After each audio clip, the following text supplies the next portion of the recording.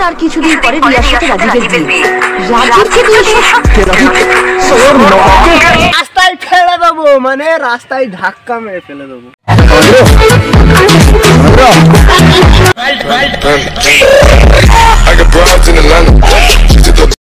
जिसके आने से मुकम्मल हो गई थी ज़िंदगी